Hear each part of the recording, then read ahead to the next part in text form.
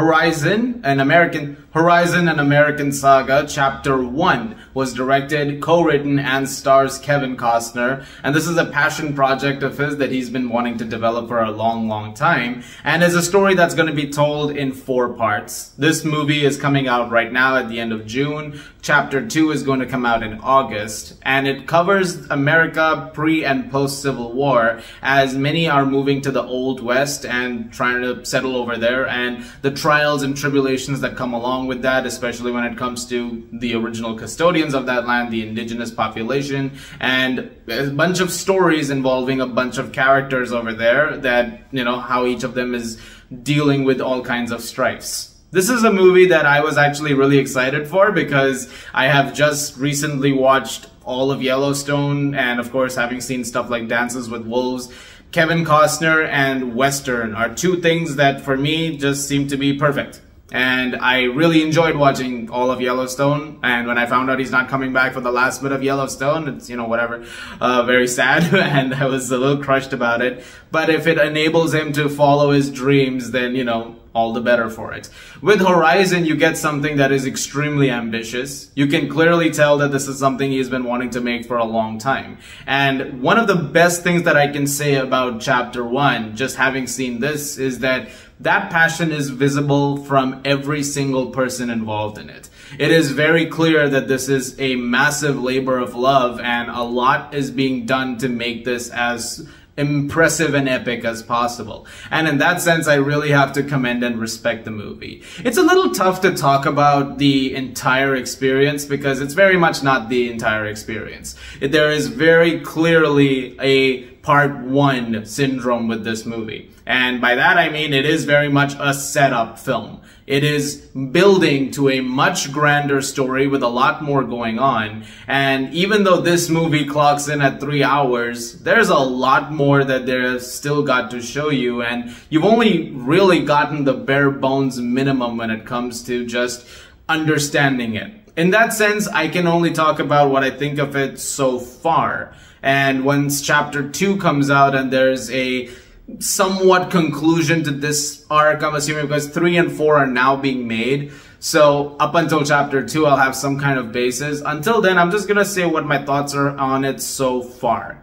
Currently, I think there's a lot that's, you know, still in progress. But even then, you can very clearly tell that this is something that really has everyone's hearts in it. In that sense, it's got its issues, but while it does have those things, it's it's hard not to feel that kind of respect towards the project as a whole. Yes, there are some glaring issues throughout the movie. It definitely could use a lot of work when it comes to storytelling, structuring, pacing, dialogue, those major components of some of you know filmmaking yes absolutely there are issues across the board over there. There's a lot that the film is trying to juggle. Not all of it comes together very cohesively at least not yet. There's a lot of moments of dialogue with characters. Some of it's great some of it is extremely wonky. It really feels like a throwback movie of sorts in that sense which is a paradoxical issue to have because then i'm also saying it very much feels like an old school western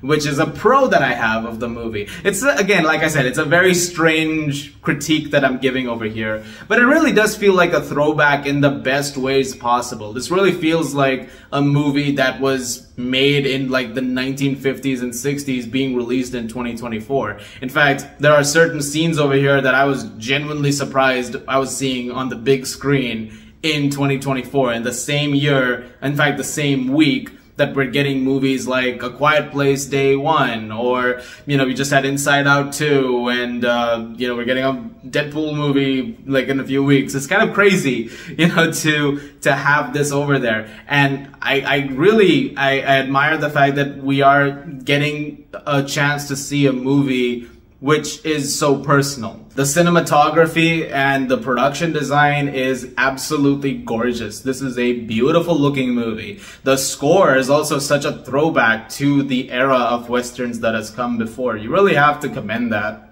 And I think the performances from everyone are extremely committed. I think Costner is really, really great. Sienna Miller is great. Sam Worthington is great. Michael Rooker is great. I mean, the ensemble cast from them to Jena Malone to um, Isabelle Fuhrman to um, Jamie Campbell Bower. Everybody's really, really great in this movie.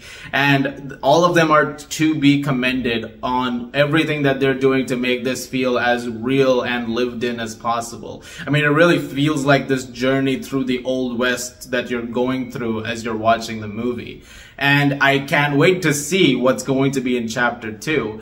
But again, it feels like this is not really a review, this is more just a summation of my thoughts so far. And I'm very excited to talk about it when we get to August because I'm sure I'm going to have a lot more thoughts on it. But as of right now, despite those issues, I am looking forward to where the story goes next. And I will show up for them. I want to see the rest of these movies. There's a lot writing on this. I do know that whatever Costner put into making this happen was extensive. I mean, he really put everything on the line to make this movie.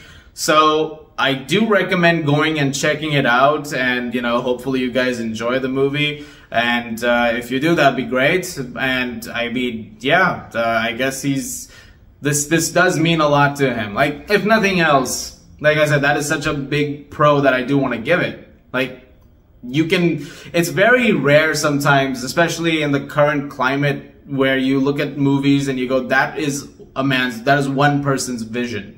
And in this particular case, you can very clearly see like the very singular vision, a very singular thing driving it forward. And so I look forward to talking about the second chapter in August. The way the movie ends, I'm not going to talk about it, but my friend and I genuinely, I, I thought, we thought it was just like amazing. Uh, and not, not, you know, in, in like, you know, you'll have to just see it to know what, what I'm talking about. But it does set up a very exciting continuation of the story. That is what I'll say about that. And so I'm going to leave it right over here, uh, and I'm going to open the floor to you guys. Let me know what you guys thought of Horizon and American Saga, Chapter 1.